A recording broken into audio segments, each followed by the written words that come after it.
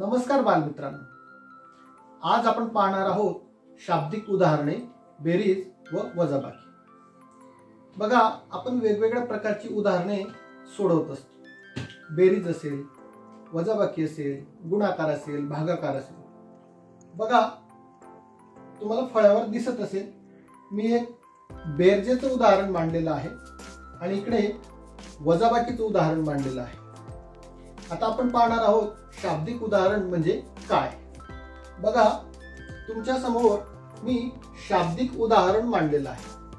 शाब्दिक उदाहरण म्हणजे शब्दात मांडलेलं उदाहरण.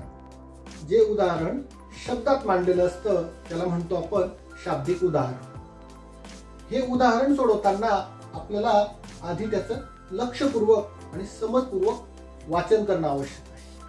वाचन केल्यानंतर त्या उदाहरणात कोणती कृती करायची सुचवलेली आहे किंवा कोणती कृती आपल्याला करावी लागणार आहे ते आपल्याला ठरवावं लागतं. ती कृती करून आलेलं उत्तर हे शब्दात मांडावं लागतं. याला म्हणतात शाब्दिक उदाहरणे सोडवणे.